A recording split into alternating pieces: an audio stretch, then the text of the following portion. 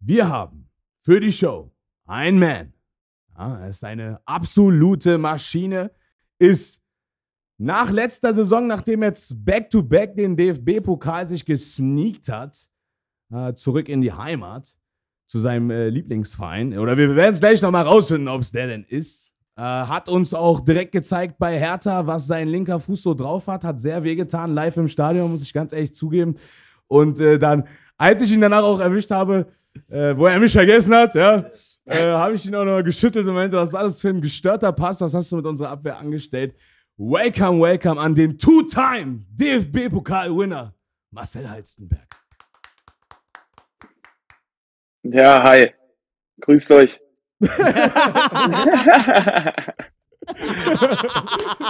hey, geil, dass das geklappt hat.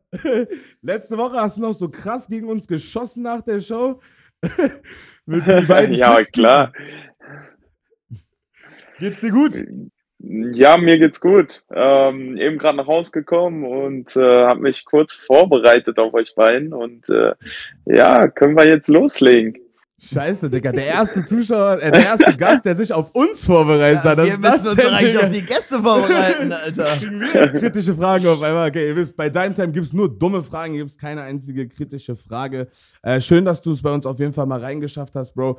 Ähm, ja, ist jetzt schon wieder ein bisschen her. Wir hätten sehr gerne mit dir letzte Woche schon über äh, Hertha und Hannover gequatscht. Das war ja trotzdem all in all ein wilder Ritt, ja, kann man sagen. Ein sehr nices Spiel. Lass uns da nochmal ganz kurz anknüpfen, dann können wir auch schon direkt auf äh, diese Woche schauen. Ähm, ja, wilde erste Halbzeit von Hertha, irgendwie zwei Tore geschossen. Ähm, ja. Was war, was war da los erstmal erste Halbzeit? Ne, Hertha ist ja jetzt auch nicht so. Ne, wir spielen eher erste Halbzeit gut, zweite Halbzeit dann wieder Katastrophe. Aber wie war es gegen Hertha zu spielen? Du kannst doch ein bisschen besser beurteilen. Du warst auf dem Platz ja, irgendwie ähm, hatte man ein gutes Gefühl. Ähm, wir haben auch, sind gut reingekommen ins Spiel, haben das Spiel gemacht, ähm, hatten auch gute Aktionen. Und dann liegst du auf einmal 0-1 zurück und denkst du so, äh, okay, naja, geht weiter.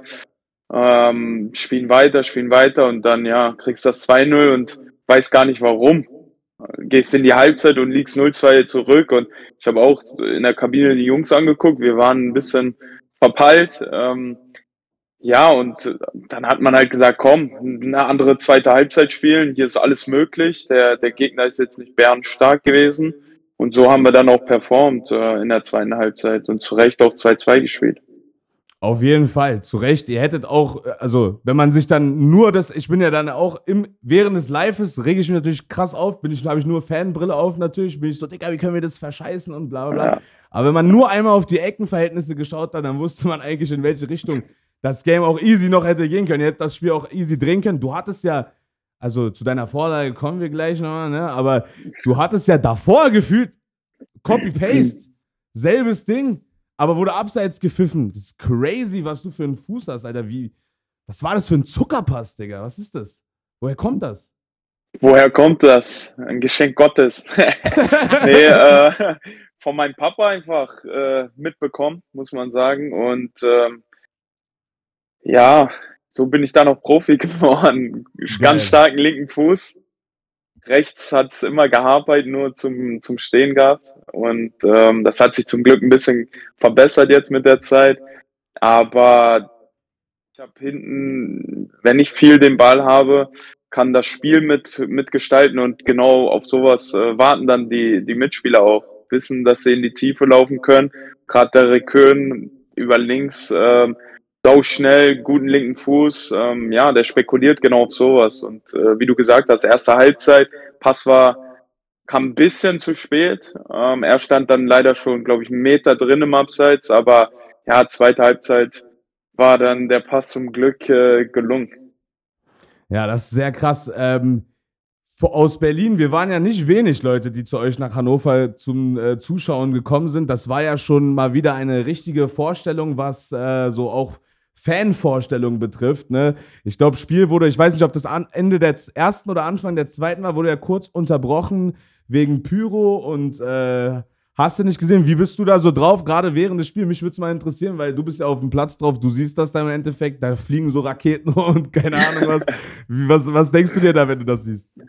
Ja, ist schon besonders, natürlich. Also ich bin jetzt kein Befürworter für, für Pyro. Habe ja auch mal nach dem, nach dem Derby-Sieg äh, gesagt, äh, Pyro ist geil.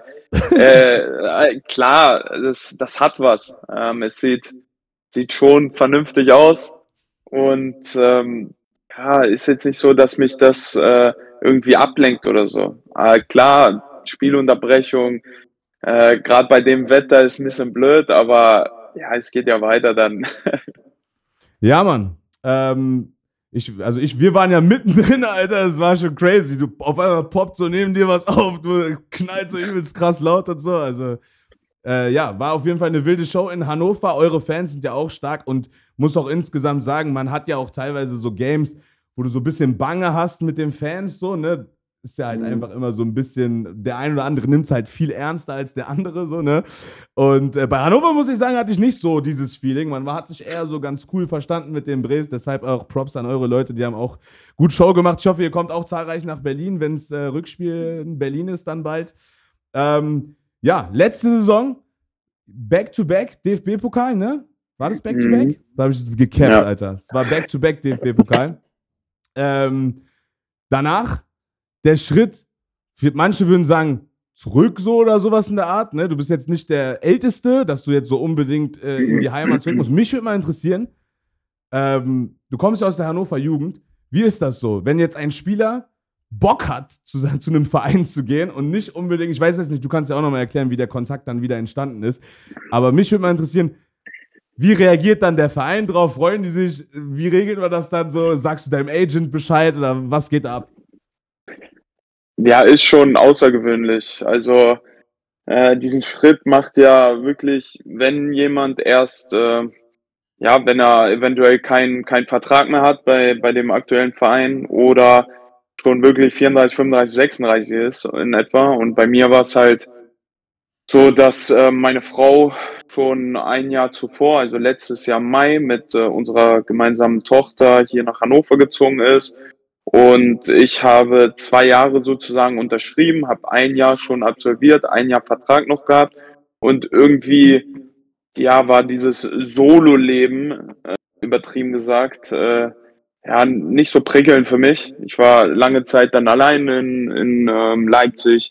Klar, wir waren viel unterwegs, hatten viele Spiele, aber ähm, das hat irgendwie dann auch nicht mehr so gepasst. Und durch die ganzen Spiele, durch die ganze Reiserei hatte ich dann auch nicht mehr zu 100 Prozent Bock. Und ich habe mir dann gesagt, okay, wenn wir die, ja, Back-to-Back, den DFB-Pokalsieg holen, ähm, dann, dann gucke ich mal, rede mit meinem Berater und vielleicht ist es ja tatsächlich möglich, äh, zu Hannover 96 zu wechseln.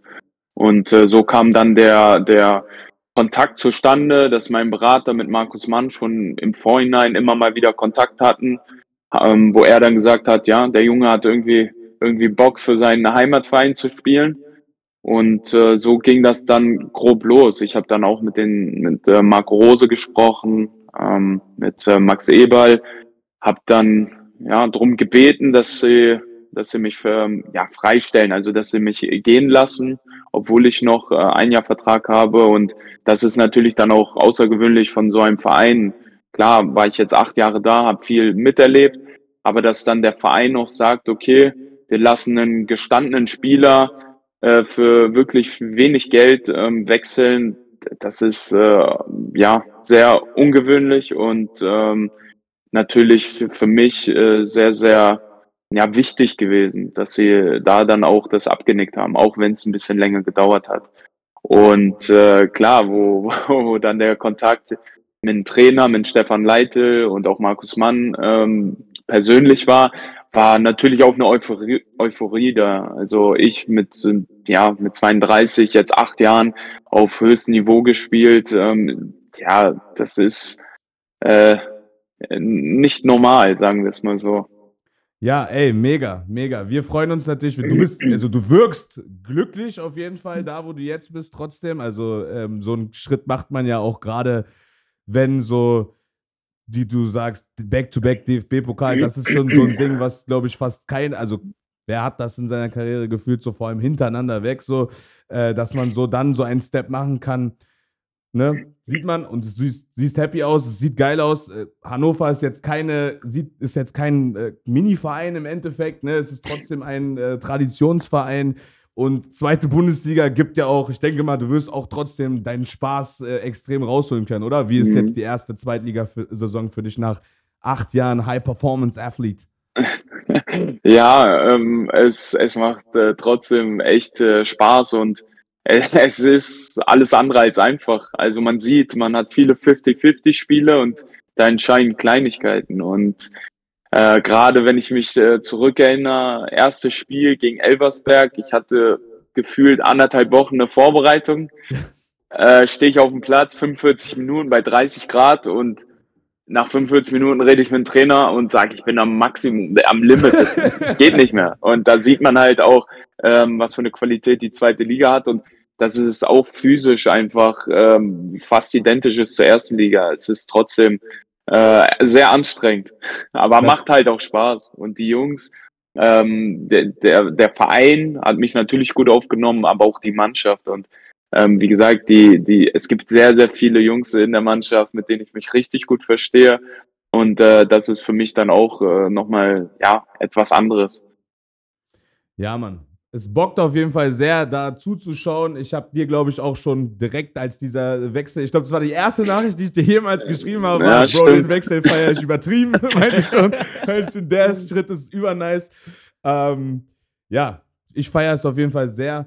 Ähm, generell, wie ist so Leitl drauf? Man kriegt ja jetzt von Trainern nicht so viel, also man guckt Pressekonferenzen und so, aber du bist ja dann intern, du weißt ja, dann, also dann lernst du ja den Menschen nochmal kennen. Wie ist der so drauf? Ja, auch super entspannt. Also er weiß, was er will. Ähm, er ist taktisch auch sehr basierend und äh, legt sehr viel Wert auf seine, auf seinen Spielstil, auf die Phasen, die er hat oder die wir haben. Und äh, menschlich neben dem Platz kann ich auch mit ihm über alles reden und da zeigt er auch viel Verständnis. Also äh, sehr positiv. Sehr, sehr geil. Sehr, sehr geil. Ja, Mann, Alter, ich hab dich voll Ja. zugelöchert. Back to back, pam, pam, pam. Die ganze Zeit nur Frage, Frage, Frage, Frage, Frage. ähm, ey, war bombastisch. Hast du noch was? Ey, wir haben natürlich nochmal den Chat gefragt. Die hatten noch die Möglichkeit, eine Frage an dich zu stellen und eigentlich suchen wir da immer eine raus. 90% ist aber leider wie immer Quark. Ja? ähm, deswegen habe ich mir eine Frage äh, rausgesucht, die ich ganz interessant finde. Du hast ja jetzt schon zweimal den DFB-Pokal gewonnen. Aber was war für dich das, das Spiel in deiner Karriere, wo du am meisten zurückblickst, was du so am geilsten fandest? Boah, schwierige Frage. Ähm, ja, ähm, da würde ich tatsächlich ähm, mein Debüt für die Nationalmannschaft äh, sagen, ähm, im Wembley-Stadion gegen England. Ähm, auch wenn wir nur 0-0 gespielt haben, aber äh, 90 Minuten gespielt und ja, das ist, also da werde ich auch immer dran zu, zurückdenken. Das war schon sehr, was sehr, sehr Spezielles. Geil. Vor allem als Verteidiger ist so ein 0-0 auch noch eigentlich fein. So klar, ein Tor für euch wäre gut, aber immerhin habt ihr hinten keins reingelassen. Und so ein Nationalmannschaftsdebüt ist halt nochmal ein ganz anderes Feeling, wenn man so weiß, man kann auflaufen mit dem Adler auf der Brust. Boah, das muss crazy sein, Alter. Ja, außer man ist jetzt Wembley. vielleicht im Olympiastadion gegen die Türkei. Dann ist es ein Auswärtsspiel. Ja, das stimmt. nee, aber da, da muss ich sagen, also ich habe nie für die Jugend oder so, also für die Nationalmannschaft gespielt in der Jugend und dann A-Nationalmannschaft, äh, Anruf bekommen, dann da auf dem Platz zu stehen mit ja den Stars links, rechts neben mir. Also das ist schon was richtig Geiles gewesen. Hast du da Innenverteidiger gespielt oder Außenverteidigung? Äh, Außenverteidigung, ja. Du warst ja auch mehr Außenverteidiger. Jetzt bei, bei Hannover ist jetzt nochmal richtig in die Innenverteidigung gerutscht jetzt, oder? Davor habe ich dich eigentlich fast immer nur links gesehen, eigentlich. Ich habe mich immer aufgeregt bei Ja. FIFA, dass er, dass er eine Ausverteidigerkarte hat. Das war nicht zu gebrauchen mit so langsam einfach. äh, ich, nee, also wie du gesagt hast, äh, links eigentlich ja favorisiert. Äh, Nationalmannschaft gespielt, auch meiste Zeit in Leipzig gespielt, aber wo ich dann hergekommen bin, war eigentlich schon von vornherein der Plan, dass die Jungs mich äh, in die Mitte stellen wollen und planen und wir sind ja auch äh, ja gut aufgestellt auf der linken Seite. Von daher habe ich ja drei, vier Spiele gebraucht und jetzt will ich da aus der Mitte auch gar nicht mehr weg. Also ich fühle mich echt pudelwohl neben den beiden Jungs, die 36 km laufen. das ist super stark, Alter. Man sieht auf jeden Fall, dass du einen großen Impact hast aufs Team, finde Ja, ich. ja. Auf den Spielaufbau, auf komplett, wie es bei Hannover läuft. Ich meine, ein Platz vor Hertha. Äh, noch ist alles offen in der Liga. Noch. Nächste Woche geht's gegen Kaiserslautern, äh, gegen Karlsruhe. Ihr gegen Ja, Karlsruhe? gegen Karlsruhe. Wir haben ja eine Fanfreundschaft mit Karlsruhe. Ich bin ja eher Kaiserslautern. Wir spielen gegen Kaiserslautern, ihr Wir gegen Karlsruhe. Lautern. Ähm, was denkst du jetzt mal gegen Karlsruhe jetzt so ganz trocken? Kann es was werden? Kann es nichts werden? Stindel? Also ich bin ehrlich, es muss was werden, gerade zu Hause. Ähm, wir haben jetzt ja gerade auswärts auch nicht so gut performt die letzten Spiele. Ähm, haben jetzt gegen Paderborn klar schwere schwere 70 Minuten gehabt in Unterzahl und äh, so hinten raus eklig verloren mit, mit so einem Tor. Aber gegen Karlsruhe, ja, also wir müssen gewinnen. Das ist unser Ziel. Wir wollen Anschluss halten und brauchen jetzt die Punkte. Habt ihr euch ein besonderes Ziel gesetzt diese Saison? Irgendwie, dass ihr oben mit dabei sein wollt? Oder nimmt ihr jetzt erstmal mit, dass es so gut läuft und dass Hannover vielleicht doch wieder in Zukunft irgendwann den Step nach oben schafft?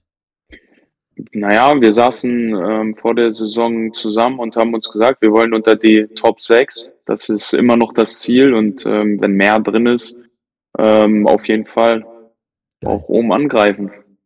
Ja, nice, Alter. Ich fand's auch, ich fand's auch so funny. Ich habe letztens gesehen, du bist ja mit Terrence auch schon OG lange befreundet, ne? Mhm. Er, also ich habe irgendwo was gelesen, dass er sogar dich zu Leipzig geholt hat. War das? Ja, kann man so sagen. Also ich habe mir Leipzig angeguckt. Ähm, Ralf Rangnick hat mit mir gesprochen und äh, mich dann auch zum Trainingszentrum eingeladen. Und äh, Terence äh, stand dann noch um 19 Uhr abends Parole und äh, ja, hat mich so empfangen. Und er hat mir, glaube ich, schon boah, immer wieder jedes Jahr geschrieben, du musst nach Leipzig, du passt perfekt rein, komm zu uns so in etwa. Und irgendwann hat es dann geklappt. Leider habe ich nicht so oft mit ihm gespielt, weil er verletzt war, die, die schwere Knieverletzung hatte. Aber äh, ja, durch ihn bin ich auch äh, Richtung Leipzig gekommen, muss man sagen. Bestimmt ein paar Prozente vom Deal gekriegt, Alter. Das ist immer, ich finde es immer so krass, wie, wie das doch so teilweise, also so ein Mix ist aus High Professional und aber Mundpropaganda trotzdem. So dieses einerseits so, du sagst einem Spiel, ey, komm mal. So, und dann ist es ja so professionell, du kann ja, wie er sagt, äh, selten dann zusammen auf dem Platz stehen. Aber ich habe es schon oft von Spielern gehört, dass die so waren, so, ja, ich habe so ein bisschen da geholfen, dass der Spieler kommt und so. Ich finde es immer so krass, wie das so, ne, so halb. Dass das wie- doch wie jetzt so- funktioniert.